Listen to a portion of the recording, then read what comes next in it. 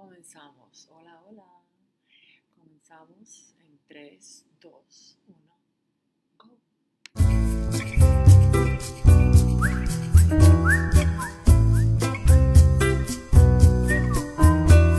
Despierta Cuba, despierta Cuba ya. Suscríbete. Despierta Cuba, despierta Cuba ya. Chico, despiértate. Mira que ya amaneció.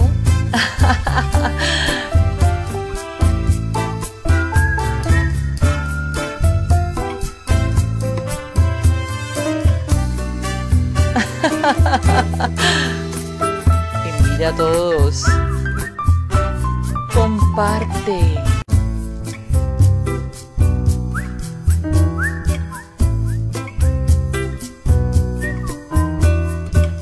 Despierta Cuba. Despierta Cuba ya. Suscríbete. Despierta Cuba. Despierta Cuba ya. Hola, hola, gente bella. ¿Cómo están ustedes? ¿Cómo está mi gente preciosa? Hoy es un día bestial. Bestial. Ha pasado de todo. Está pasando de todo. Vamos a hablar hoy de todo lo que está ocurriendo, porque son muchas cosas.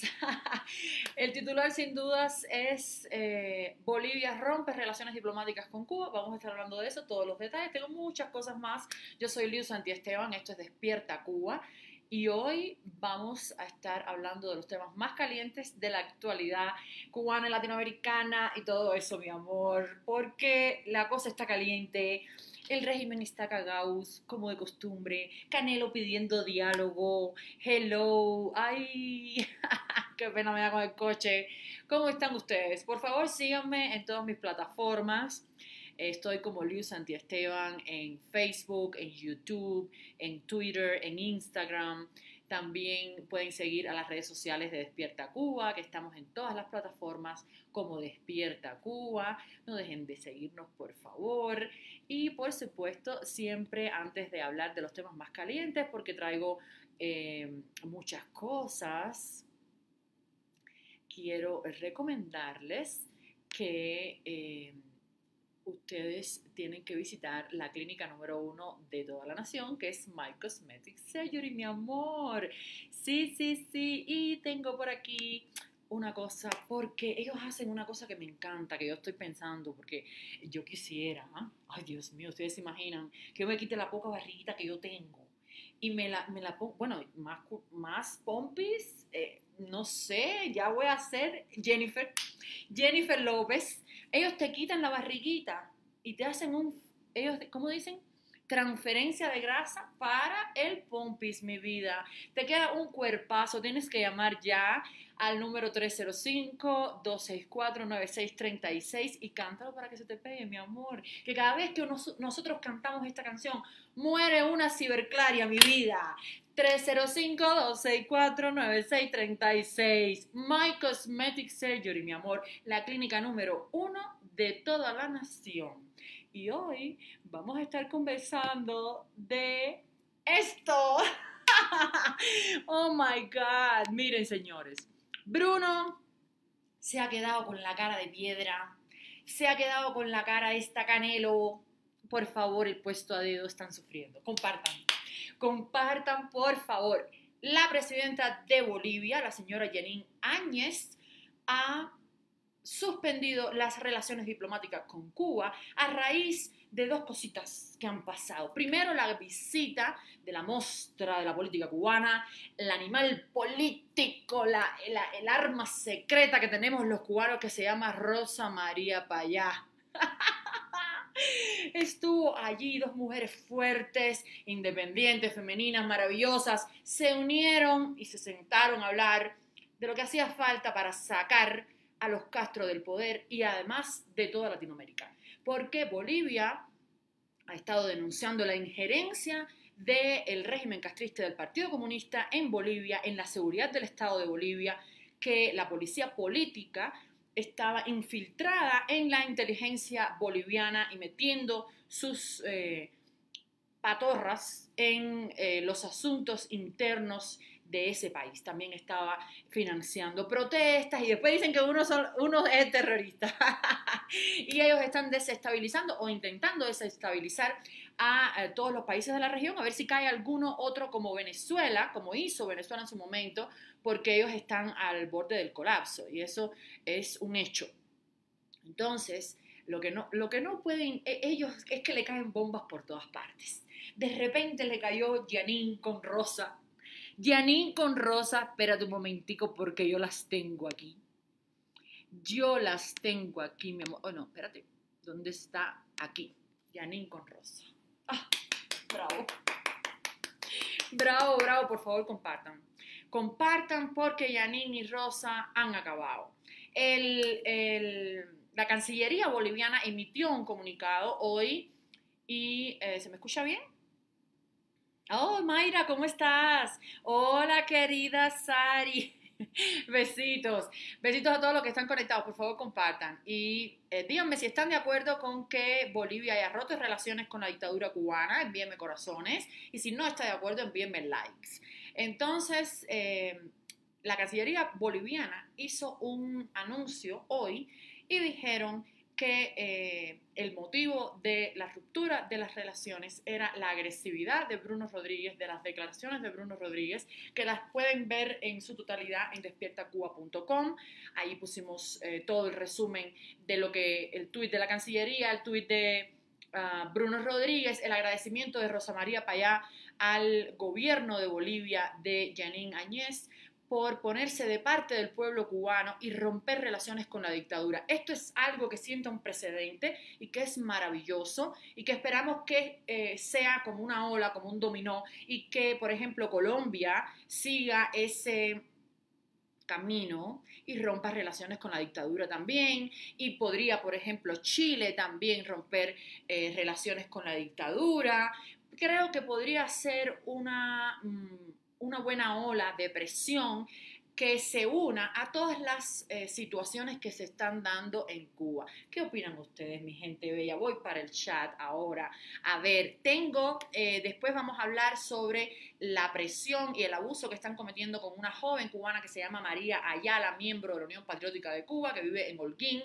Voy a estar hablando sobre ese tema. he querido eh, tocarlo. Después, a lo mejor en la semana que viene lo tocamos en más profundidad, pero quiero denunciar eso porque es un abuso. Es una madre joven, muy ah, buena muchacha y la están acosando por este tema de clandestinos porque ellos están como locos acusando a los disidentes, incluso por compartir en Facebook cosas de clandestinos. Ahora vamos ahí a esa conversación. Tengo también un llamado que hace José Daniel Ferrer desde la prisión para todos los activistas de la Unión Patriótica de Cuba y todos los cubanos que lo apoyamos y que eh, se trata de una acción por la libertad de los presos políticos. Vamos a hablar sobre eso también y voy a ver qué dicen ustedes en el chat.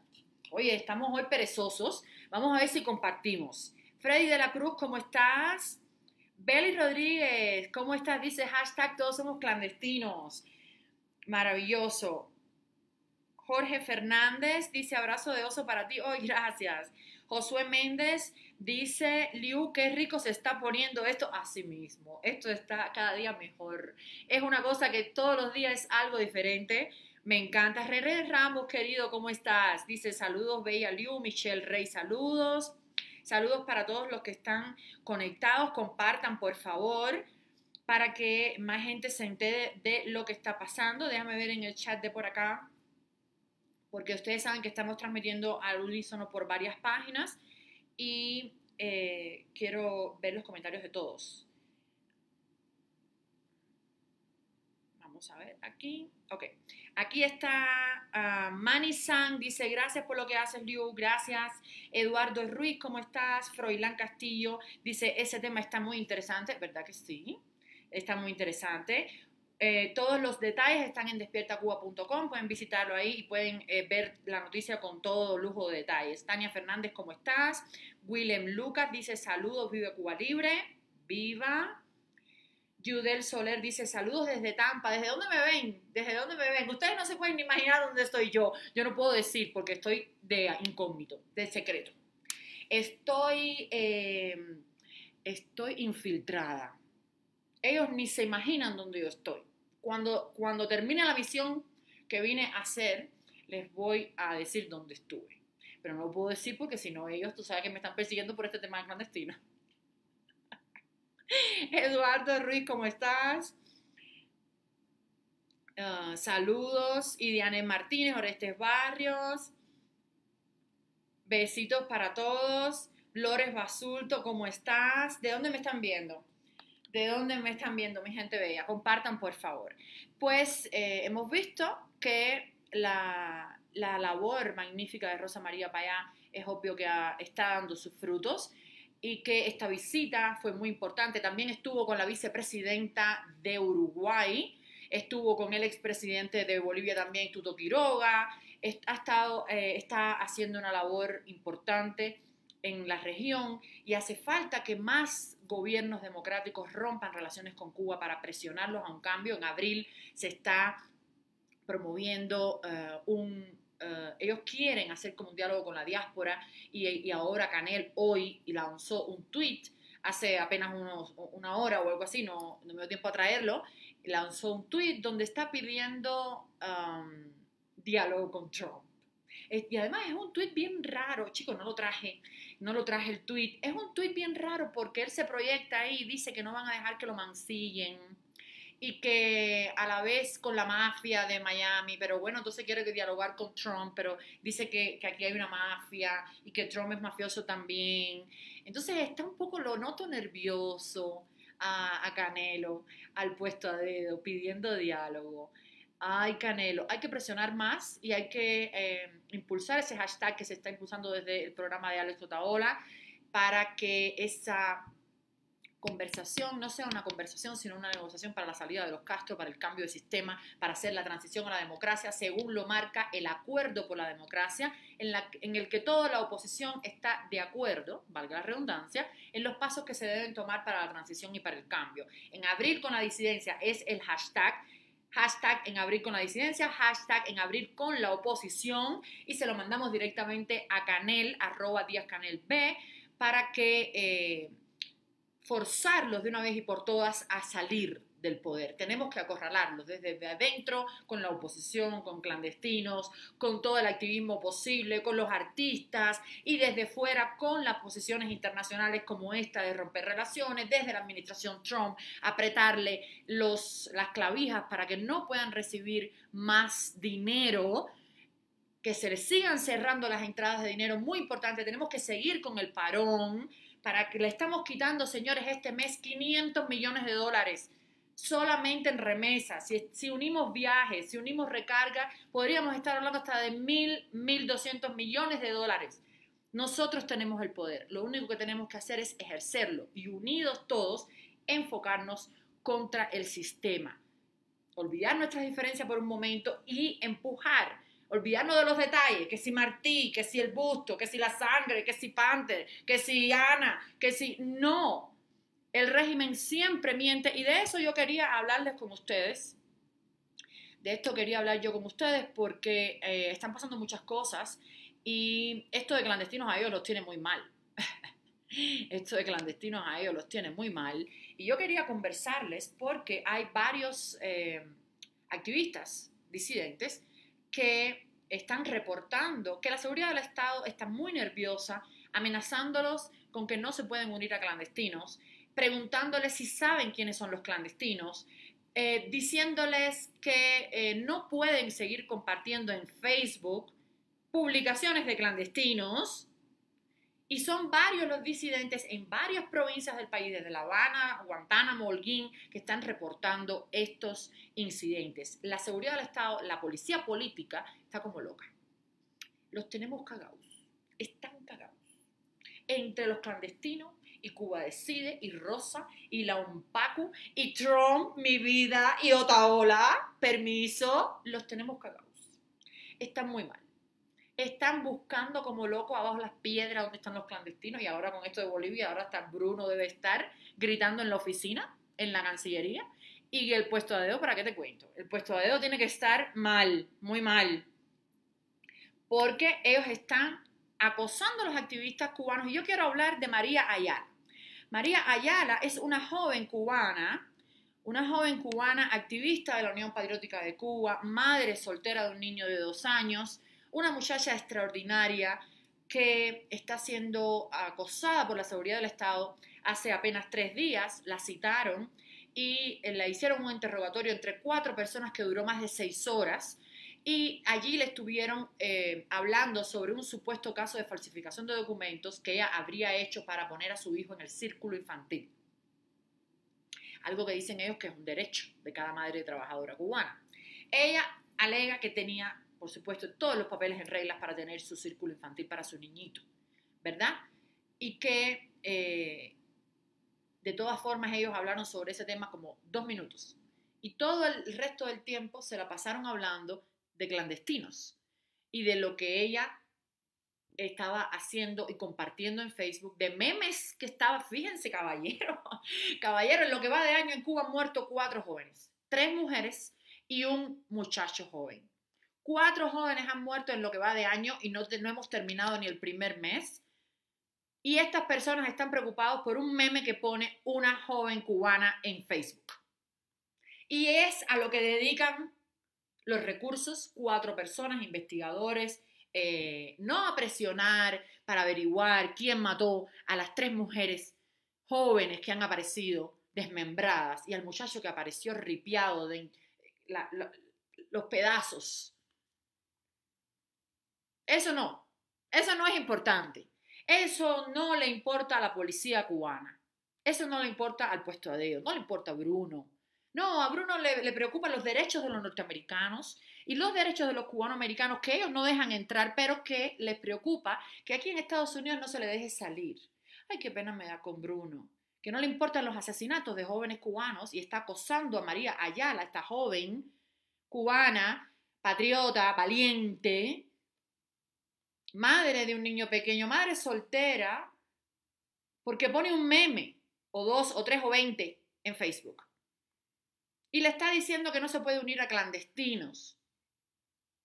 Están temerosos y le quieren hacer una causa inventar una causa, un juicio falso, como están haciendo con Panther Baró y como están haciendo con Joel, el otro muchacho, y como están haciendo con Ana Olema, como están haciendo con, con José Daniel Ferrer, como hacen con todos los opositores, como hacen con todas las personas que quieren una Cuba próspera y libre. Eso es lo que están haciendo con María Ayala, una vez más, porque el problema es que esto es un, es un patrón que ellos repiten y repiten. Y no importa los robos, no importa la falta de comida, los baches en la calle, los hospitales sin médicos, sin medicina, en los dos médicos secuestrados que deben estar muertos, nada. Eso no, eso no es un problema para la policía, ni para el gobierno o para el desgobierno.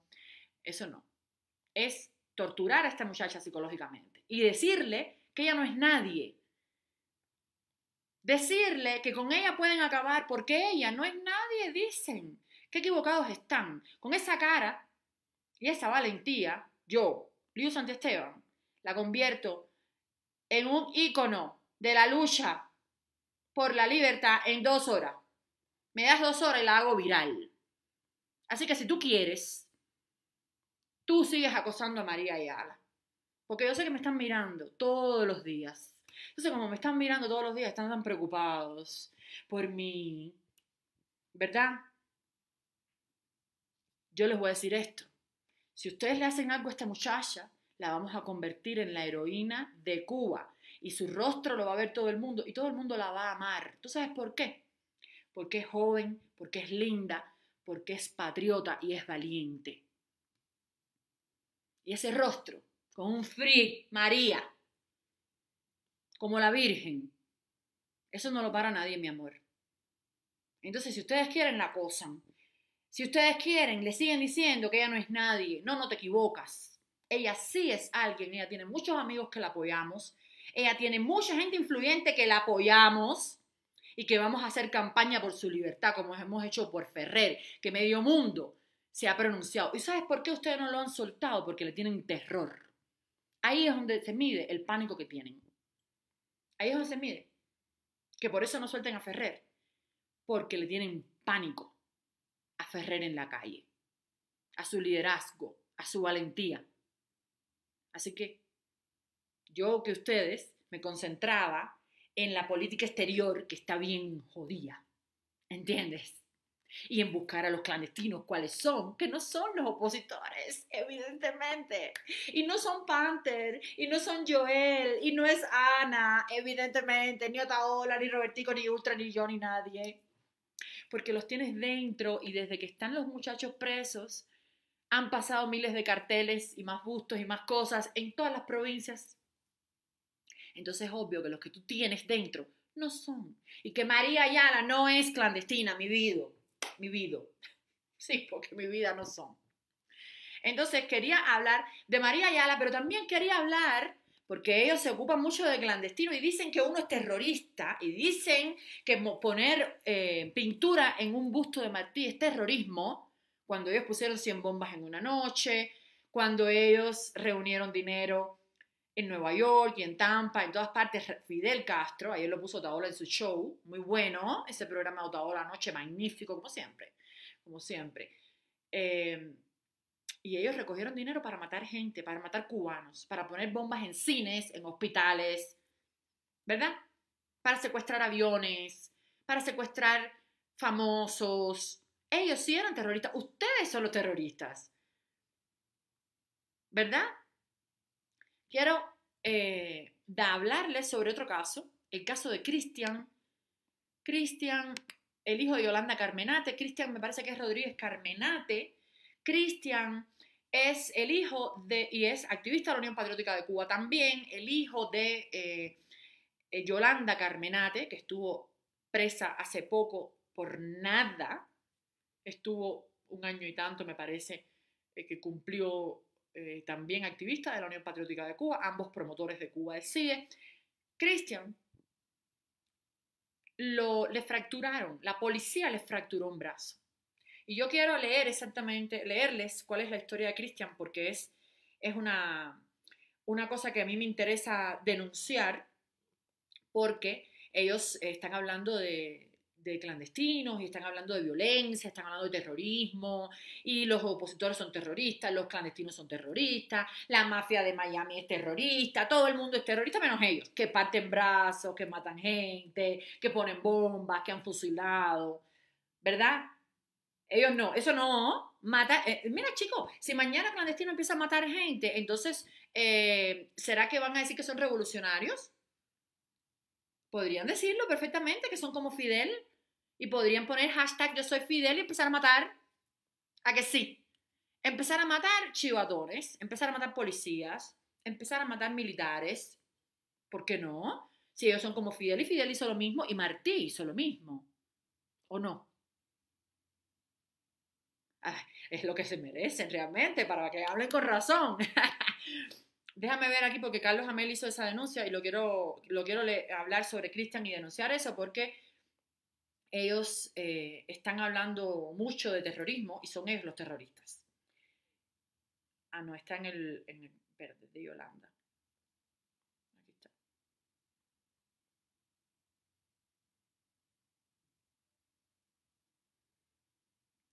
Ah. A ver. Mira.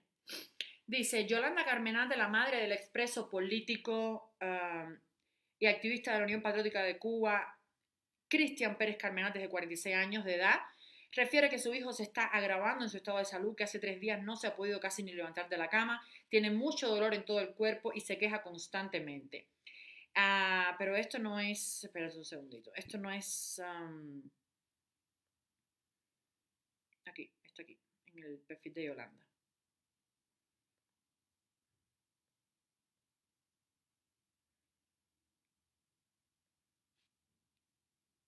Mira, ella fue detenida arbitrariamente durante el día, el día 16 de enero por ir a buscarle un medicamento a su hijo Cristian que se encuentra muy delicado de salud después de una brutal golpiza que le propinó la policía política de Santiago de Cuba o de las Tunas. De las Tunas la llevaron a la unidad más conocida como la tercera y la retuvieron ahí cerca de cinco horas. A Cristian lo que le hicieron fue que él estaba grabando entrevistas para la Unión Patriótica de Cuba, que hacen muchas entrevistas, y a Cristian le dieron una golpiza cuando lo arrestaron tan violentamente que le parten el brazo, le fracturan el brazo.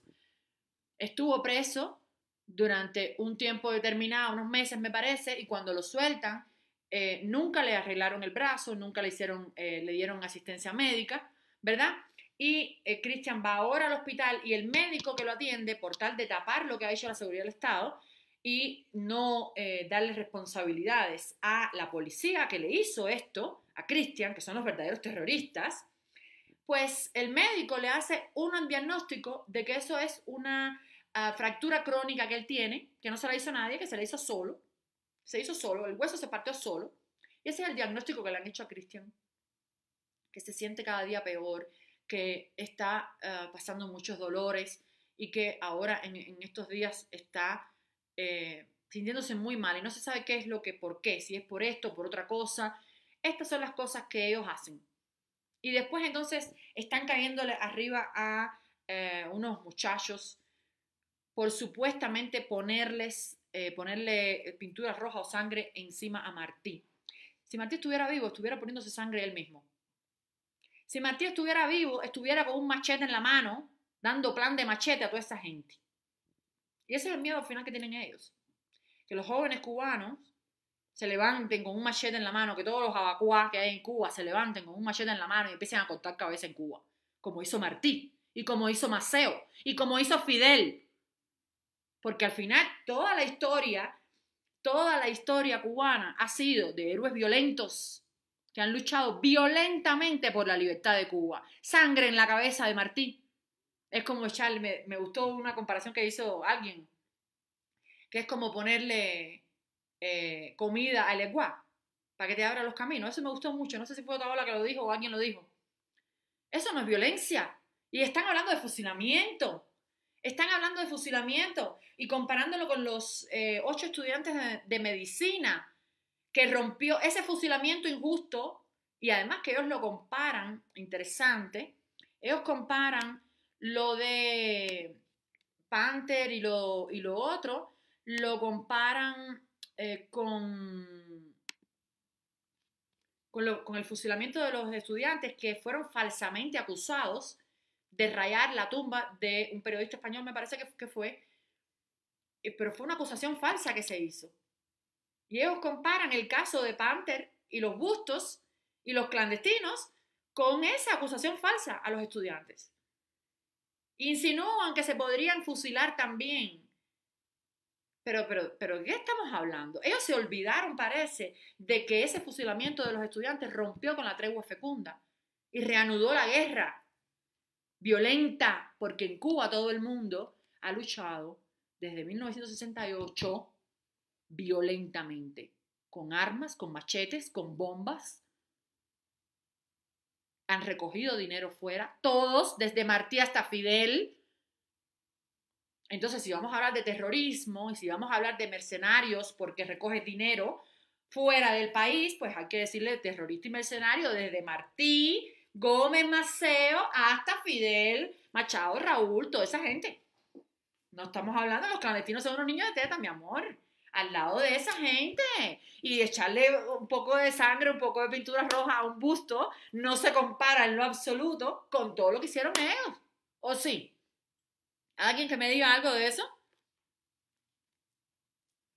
Dice Nadieja Cárdenas, saludos Liu desde Hollywood, California. Hola, ¿cómo estás? Jorge, ¿cómo estás? Besitos. Magali, Milady, Dice, debemos apoyarnos unos a otros, así mismo es. Este es el momento de unir fuerzas. Mabe Hernández dice, por eso digo que con esos esbirros eh, dictadores no se negocia nada. Bueno, nada, no, la salida sí. La salida sí hay que negociarla. Y hay que ver quién va a entregar a quién, quién podemos, si tú entregas a, los Castro, o si entregas a Ramiro, o si entregas a Callejas, pues, pues se le puede hacer un arreglito pero eso sí hay que negociar. Y hay que hacer una intervención de las instituciones internacionales, de la OEA, del Parlamento Europeo, de la sociedad civil cubana, de los opositores internos, de la, del exilio, de las organizaciones del exilio, y de países, comisiones de países democráticos de la región, y hacer una intervención cívica y política para cambiar el sistema.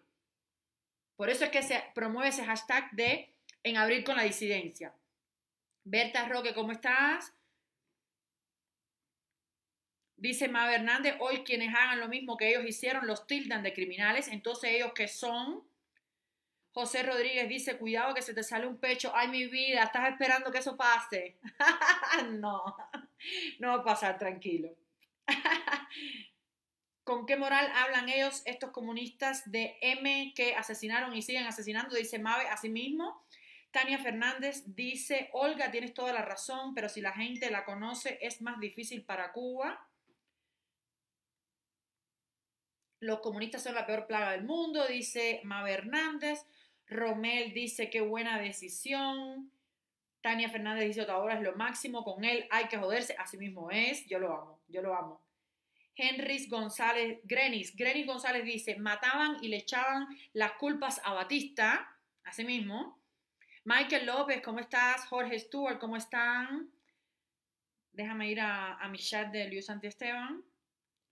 A ver cómo está. Le mando besitos a mi gente de YouTube, que tengo un strike y entonces tengo que compartir em, en Premiere a las 3 y algo de la tarde.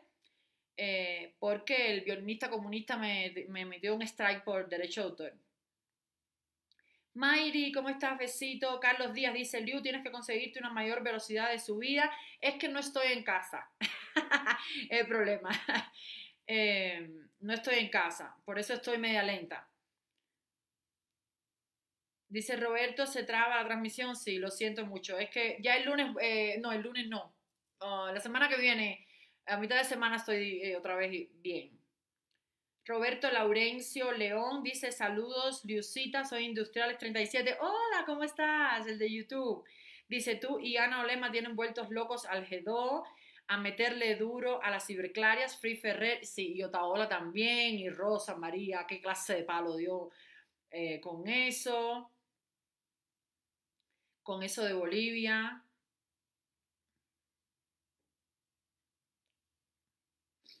Dice Vladimir Martín, saludos Liu, viva la Pacu, abajo la ceniza de Fidel, Raúl y Díaz Canel, todos somos Ferrer, yo soy Ferrer, libertad para los presos políticos. Ay, de eso quiero hablar porque em, de eso quería hablar, un segundito. Mm. Yo creo que yo sé por qué se para esto un poco. A ver, si quitamos esto, ok. Yo creo que si lo, quitamos así se va a ver más fluido. Un momentico.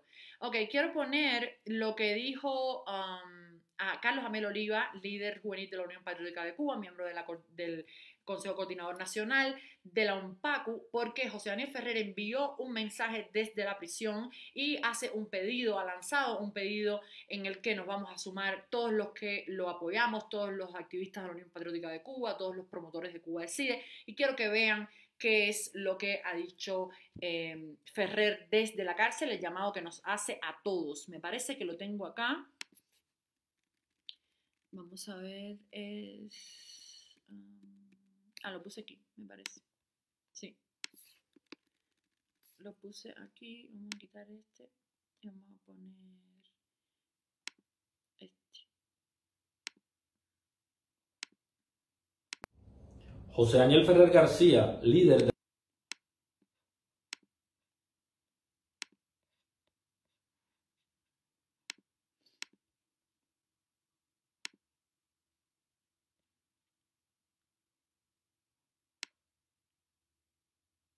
oh. Las víctimas y los mártires.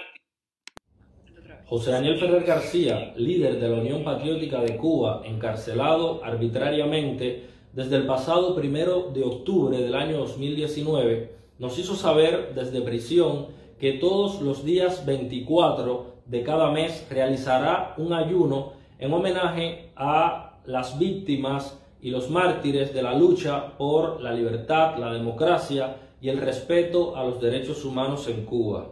Y nos pide que le sigamos en este gesto simbólico de protesta y de reclamo de libertad.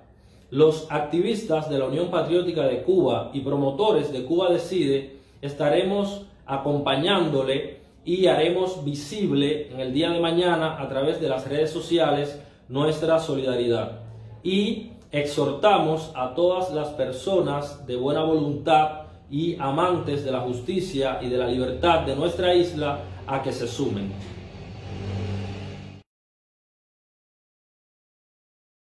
Vamos a estar apoyando eso, por supuesto.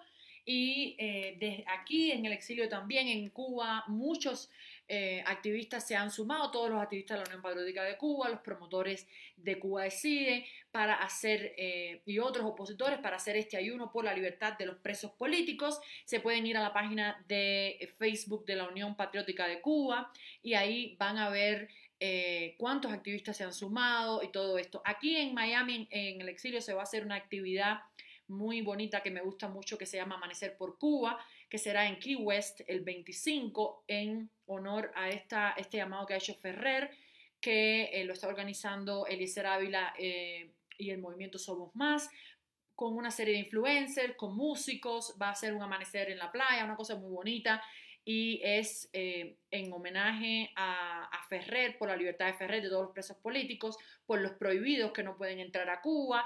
Es una, una, reunión, una especie de, eh, de, encuentro entre jóvenes activistas cubanos. Los invito a todos y en Kentucky me parece que es en la plaza donde está el busto de Martí, también van a ser eh, una protesta en conmemoración de la, del año, un año que se cumple de la protesta de los prohibidos que se hizo en Washington y porque aún hoy pues hay más prohibidos todavía y regulados que no pueden salir, en fin, y todavía está Bruno eh, reclamándole a Estados Unidos eh, los vuelos charter. los vuelos charter, porque ellos tienen mucha, una cara muy dura. Uh, ¿Qué me queda por aquí? Aquí me quedaba algo, yo quería... Eh, yo quería hablar de qué era. Mm, mm, mm. Oh, era de Ana. Era de Ana Olema. Ana Olema, pero un segundito. Eh, Ana, tú sabes que ah, la dictadura cubana le está pues haciendo una ofensiva tremenda, ¿no? Porque ellos necesitan una cara eh, con clandestinos, ellos necesitan una cara a la que culpar, a pesar de que los muchachos están presos y han seguido pasando cosas de clandestino, a pesar de que Ana eh, ha negado por activa y por pasiva que eh, ella esté financiando clandestinos, ni detrás de la idea, ni muchísimo menos. E incluso los propios clandestinos negaron que ninguna participación ni de Ana ni de los muchachos de eso dijo que todo lo que era eh, lo que decía el Granma era mentira, que ellos no conocían a ninguna de esas personas, en fin. A pesar de todo eso, hay una campaña de troles en las redes sociales donde están sacando una foto de Ana con Panther. Una foto de Ana con Panther que al parecer eso prueba que Ana está detrás de clandestino y es la profesora de clandestinos. La foto. Esa foto que además publicó Ana en su perfil de Facebook porque ellos son así. La quinta mejor policía del mundo eh, hace una investigación tremenda, horriblemente mala, y ah, dicen ellos que porque tú tienes una foto con una persona, ya tú eres ya culpable. Eso es prueba suficiente. Y además el muchacho en el año 2018, hace dos años, hizo en la foto una, una C, que no sé a lo que se refiere, y ya eso es prueba de que el muchacho es clandestino y de que Ana es clandestina.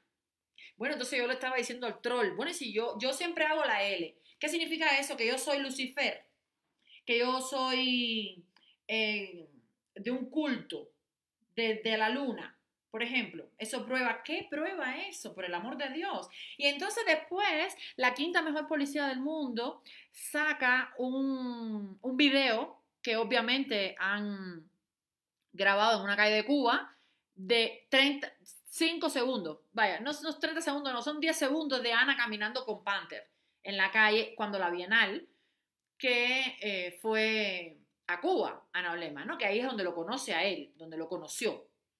Bueno, caminar con Panther ya hace que Ana es clandestina, que le mandó eh, la financiación, que es de la CIA, que es lo peor, tú sabes, ¿no? Bueno, yo quisiera que alguien me dijera, entonces, si Raúl Castro se reunió con Obama pues si Raúl entonces también es imperialista capitalista, ¿no? Porque por esa regla de tres, Si tú te haces una fotografía con alguien, tú ya eres cómplice de lo que sea que haga la persona. Entonces, eh, Raúl es de la mafia, es de la CIA, es, es capitalista, es del imperio, es un espía del imperio. Hay que fusilarlo a Raúl. Porque él se hizo fotos con Obama. Caminó con Obama. Entonces, si esa es la prueba que tienen, si eso es como miden ellos, yo pienso que ellos a Ana Lema la están acusando, primero porque Ana les metió un, un golpe duro cuando hizo en el 2018 esa, esa obra de arte, que fue un desafío muy grande, y que fue allí y que le, en la Fiscalía General de la República le presenta una demanda por expropiación de su cuerpo al Estado de Raúl Castro, que eh, la demanda exige una disculpa pública y exige un monumento a la libertad individual en el Capitolio de La Habana por la expropiación del cuerpo de todos los cubanos. Yo pienso que Ana se le escapó a la dictadura en esa ocasión, no se dejó apresar, no se regaló, y ellos se la tenían guardada. Y entonces, ¿qué pasa? Que como ellos hacen una asociación rápido, dice, vamos a, vamos a aprovechar la foto que tiene Ana con el cesto, como una obra del cesto, además, de milagro no han dicho que el cesto es clandestino, el profesor, de milagro no han dicho eso, porque el que hizo la obra del Martí con el coso, con el cerebro explotado, fue el cesto, que por cierto es un busto de Martí, que el cesto se encontró roto en la calle y que por eso es que hace la obra. No es que él rompió el busto, el busto estaba roto. En fin, yo pienso que ellos tenían un, tú sabes, tenían una espinita clavada con Ana porque Ana ha sido muy, muy dura con ellos y ha sido muy certera y les ha hecho mucho daño a todos los niveles. Ha sido muy valiente, muy desafiante y eh, tenían esa eh, coartada con la foto del cesto y qué sé yo, y como son, ellos son tan simples, dijeron pues vamos a usar esto para eh, a ver si nos creen, ¿no? Y para, que, y para tratar de parar esta bola de nieve que no no para nadie. Es obvio que eh, se ha creado un movimiento, se ha creado algo que no, no, tiene fin, no tiene fin. Yo, el fin es el, fin de los Castro y el fin del comunismo en Cuba. Eh, yo pienso que todas las estrellas están alineadas para eso y que ya eso no hay quien lo pare. Y ellos lo saben también, ellos lo saben también, están tratando de aguantar el golpe lo más que puedan. Señores, me tengo que ir porque el, la conexión está horrorosa. Eh, yo estoy de misión, estaré en La Habana. ¿Dónde estaré? Ellos no saben dónde estoy. no estoy en casa, estoy escapada de misión, estoy de incógnita, no puedo decir dónde estoy, pero sigo aquí haciéndoles daño, ¿ok? y eh, que sepan que tienen que ser un poquito más inteligentes porque ahora hay redes sociales, ahora desmontamos las mentiras y ya todo el mundo sabe que ustedes siempre mienten. El Granma miente, el NTV miente, siempre mienten, ¿entiendes? Entonces tienen que ir, tratar de ser un poquito más profundos y un poquito más